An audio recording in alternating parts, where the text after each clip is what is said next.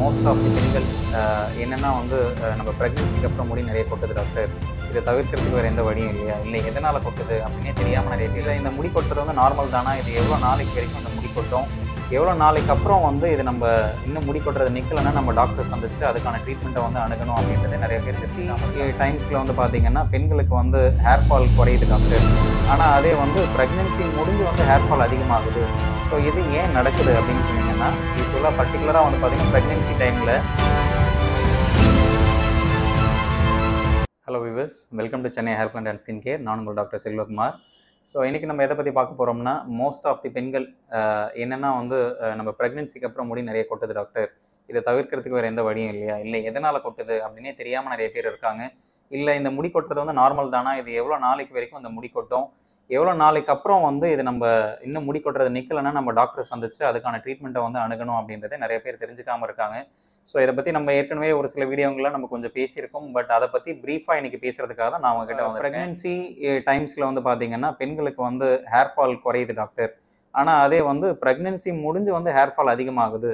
So இது ஏன் நடக்குது அப்படின்னு சொன்னீங்கன்னா யூஸ்வலாக பர்டிகுலராக வந்து பார்த்தீங்கன்னா ப்ரெக்னென்சி டைமில் நம்மளுக்கு ஒரு சில ஹார்மோன்ஸ் வந்து எக்ஸ்ட் எக்ஸ்டென்சிவாக இன்க்ரீஸ் ஆகும். ஸோ அது ஹார்மோன்ஸ் வந்து பார்த்தீங்கன்னா முடி கொட்டுறதை க கம்மியாக்கும் அலாங் வித் நம்மளோட increased blood supply blood supply ரத்த ஓட்டமும் அதிகமாகிறதுனால நம்மளுக்கு முடிக்கு தேவையான வந்து ஊட்டச்சத்து அதாவது பார்த்தீங்கன்னா rich oxygen along with iron இது ரெண்டுமே கிடைக்கிறதுனால நம்மளுக்கு வந்து முடி கொட்டுறது வந்து குறையுது.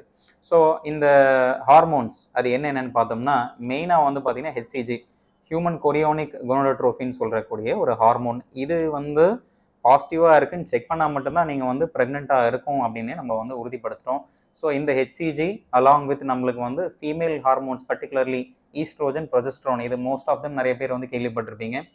ஸோ ப்ரெக்னென்சி எப்படி உறுதிப்படுத்தப்படுது அப்படின்னு பார்த்தீங்கன்னா நம்ம உடம்புல இருக்கக்கூடிய அதாவது பர்டிகுலர்லி பெண்களுக்கு ஹெச்சிஜி அப்படின்னு சொல்லக்கூடிய ஹியூமன் கொரியோனிக் குணோட்ரோஃபின் அப்படின்னு சொல்லக்கூடிய ஹார்மோன் வந்து பாசிட்டிவாக இருந்துச்சு அதோட லெவல்ஸ் வந்து அதிகரிச்சிச்சுனா தான் நம்ம வந்து ப்ரெக்னெண்ட்டாகவே இருக்காங்கன்னு சொல்லி நம்ம வந்து கன்ஃபார்ம் பண்ணுறோம் ஸோ இந்த ஹார்மோன் அலாங் வித் பெண்களுக்குனே உரித்தான வந்து ஈஸ்ட்ரோஜன் ப்ரொஜெஸ்ட்ரோன் அது மட்டும் இல்லாமல் ஆக்சிடோசின் ப்ரொலாக்டின் இந்த மாதிரியான இன்னொரு அடிஷ்னலாக ஒரு நாலு ஹார்மோன்ஸ் இது எல்லாமே வந்து பார்த்தீங்கன்னா பர்டிகுலர்லி ப்ரெக்னென்சி டைமில் வந்து ரொம்பவே அதிகரிச்சிருது. அதாவது ஃபைவ் ஃபோல்ஸ் அதிகமாக ஃபிஃப்டி பர்சன்ட் ஹையராகவே வந்து நம்மளுக்கு இருக்குது. ப்ரெக்னென்ட் ஆயிட்டாங்க அப்படின்னு தெரிஞ்ச உடனே இது மட்டும் இல்லாமல் பார்த்தீங்கன்னா நம்ம முன்னாடியே சொன்ன மாதிரி ரத்த ஓட்டம் பிளட் சப்ளை வந்து அளவுக்கு அதிகமாகவே ஃபிஃப்டி பர்சன்ட் ஹையராக நம்மளுக்கு வந்து அதிகரிக்கிறதுனால நம்மளுக்கு இப்போது மெயினாக ஹேருக்கு என்ன தேவைப்படுது?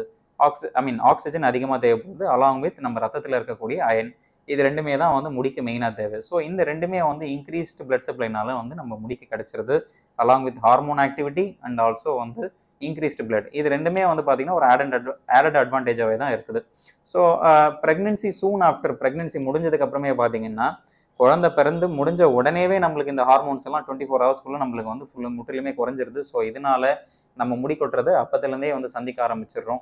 ஸோ இதுதான் வந்து ஒரு மெயினான டிஸ்அட்வான்டேஜ் இப்போ இந்த ஹார்மோன் வந்து பார்த்தீங்கன்னா எப்படி வந்து நம்ம முடி கொட்டாமல் இருக்கிறதுக்கும் அண்ட் கொட்டுறதுக்கும் வந்து முக்கிய காரணமாக அமையுதுன்னு நான் சொல்கிறேன் ஸோ அந்த ஈஸ்ட்ரோஜன் இந்த நான் ஒரு அஞ்சு ஹார்மோன் சொன்னேன் இல்லைங்களா? அந்த அஞ்சு ஹார்மோனில் மெயினான ஹார்மோன் வந்து ஈஸ்ட்ரோஜன் ஈஸ்ட்ரோஜன் வந்து சயின்டிஃபிக்கலி பார்த்தீங்கன்னாவே நம்மளோட ஹேர் ஃபால் கம்மியாக இருக்கிறதுக்காக ஒரு மெயின் காரணமாக அமையுது. அதாவது ஈஸ்ட்ரோஜன் லெவல் அதிகமாகிறதுனால நம்மளுக்கு முடி கொட்டுறது வந்து குறையுது. ஸோ கொட்டுறது பை மீன்ஸ் இப்போ யூஸ்வலாக முடி எப்படி கொட்டும் அப்படின்னு சொன்னீங்கன்னா ஒன்று வந்து தின்னாகி பிரேக் ஆகி பிரிட்டில் ஆகி உடஞ்சி கொட்டுறது ஒன்று இன்னொன்று ஷாஃப்ட் அந்த பல்பே மொத்தமாக வந்து கொட்டுற ஸ்டேஜில் இருக்கிறது ஒன்று அது வந்து நம்ம சர்டின் திங்ஸில் அதாவது கண்டிஷனில் கொட்டலாம். அப்படி இல்லைன்னா நார்மலாகவே வந்து யூஸ்வலாக வந்து ஏஜிங் ப்ராசஸில் நம்மளுக்கு வந்து அந்த பல்போடு சேர்ந்து கொட்டும். ஸோ இந்த ரெண்டு இஷ்யூ தான் வந்து பார்த்தீங்கன்னா இப்படி தான் வந்து முடி கொட்டுது அப்படின்னு சொல்லி நம்ம வந்து சொல்கிறோம் பீப்புளுக்கும் நம்ம சஜஸ்ட் பண்ணுறோம் ஸோ இந்த ரெண்டு விஷயங்களுமே வந்து பார்த்தீங்கன்னா ஈஸ்ட்ரோஜன் வந்து தடுக்குது. Along with increased blood supply வந்து நம்ம ரத்த ஓட்டம் அதிகரிக்கிறதுனாலையும் நம்மளுக்கு முடி கொட்டுறது வந்து நிற்குது ஸோ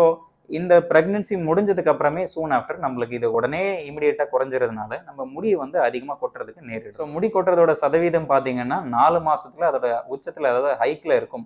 ஸோ ஒரு வருஷம் ஆகியும் நம்மளுக்கு வந்து முடி கொட்டுறது நிற்கலை அதாவது நம்ம குழந்தையோட ஒரு வயசுலேயும் நம்மளுக்கு முடி கொட்டுறது நிற்கலை அப்படின்னு சொன்னீங்கன்னா கண்டிப்பாக நம்ம டாக்டர் அணுகி அதுக்கான ட்ரீட்மெண்ட் எடுத்துக்கிது ஸோ முடி கொட்டுறது வந்து பார்த்தீங்கன்னா ஒரு வருஷம் வரைக்கும் நார்மல் தான்.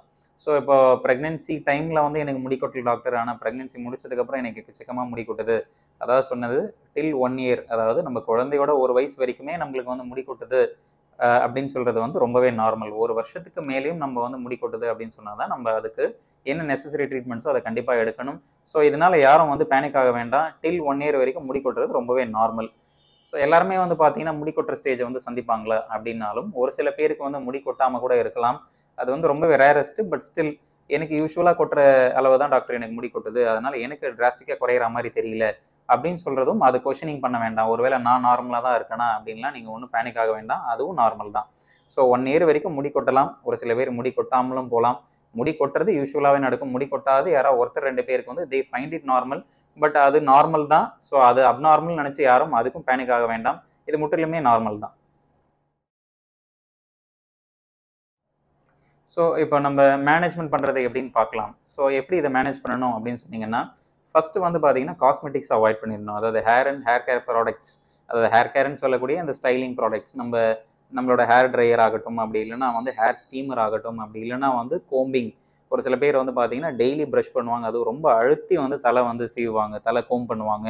ஸோ இதெல்லாமே கொஞ்சம் அவாய்ட் பண்ணிக்கிறது ரொம்பவே நல்லது. ஏன்னா இப்போ நம்ம முன்னாடியே பல வீடியோவில் சொல்லியிருக்கோம். ஸோ நம்ம ஹேர் ப்ராடக்ட்ஸ் இந்த காஸ்மெட்டிக்ஸ் இதெல்லாம் நம்ம யூஸ் பண்ணும்போது என்ன ஆகும் அப்படின்னு சொன்னீங்கன்னா ஸ்டீமர் ஹேர் ட்ரையர் இதெல்லாம் வந்து ஹேரவே ரொம்ப வந்து தின் அண்ட் ஃப்ரிஸி ஆக்கிடும். ஸோ இதனால என்ன ஆகும்னா ஈஸியாக வந்து பிரேக்கேஜ் ஆகி நம்ம அதுவே நம்மளுக்கு முடி அதிகமாக கொட்டுறதுக்கான காரணமாக அமையுது. அதே மாதிரி ப்ரஷிங் நம்ம தலை வாரும்போது பார்த்தீங்கன்னா அடிக்கடி நல்லா அழுத்தி வாரிட்டே இருப்பாங்க. ஸோ அதையுமே அவாய்ட் பண்ணுறது ரொம்ப நல்லது. ஒரு தடவை வந்து ப்ரஷ் பண்ணோம்னா அதுவே ரொம்ப நல்லதாக இருக்கும். அதே மாதிரி ரொம்ப வந்து க்ளோஸ் கிட்ட கிட்ட இருக்கக்கூடிய அந்த பல் இருக்க பற்கள் இருக்கக்கூடிய சிபி யூஸ் பண்ணுறதுக்கு பதிலாக நம்ம கொஞ்சம் லாங் பற்கள் கொஞ்சம் கேப் விட்டு இருக்கக்கூடிய பற்கள் இருக்கக்கூடிய சிபி யூஸ் பண்ணுறது ரொம்பவே நல்லது. ஸோ இது வந்து நம்ம நம்ம கொடுக்குற செல்ஃப் கேர் ஸோ இது இல்லாமல் வேறு என்ன பண்ணலாம் அப்படின்னு கேட்டிங்கன்னா நீங்கள் வந்து ஃபுட்ஸ் அது ரொம்பவே main foods and vitamins foods வந்து என்ன எடுத்துக்கலாம் அப்படின்னு கேட்டிங்கன்னா green leafy vegetables rich source in iron fruits எடுத்துக்கலாம். விட்டமின் சிஸ் எடுத்துக்க சி இருக்கக்கூடிய ஃப்ரூட்ஸ் அண்ட் வெஜிடபிள்ஸ் எடுத்துக்கலாம். அண்ட் மோர் ஓவர் வந்து ஃபிஷ் எடுத்துக்கலாம். ஒமேகா த்ரீ ஃபேட்டி ஸோ நம்ம வந்து எக்ஸ் அண்ட் எக் ஒயிட்ஸ் எடுத்துக்கலாம். ஸோ அதில் வந்து ரிச் இன் ப்ரோட்டீன் இருக்கிறது. அதுவுமே நம்ம ஹேருக்கு நல்லாவே யூஸ்ஃபுல்லாக இருக்கும்.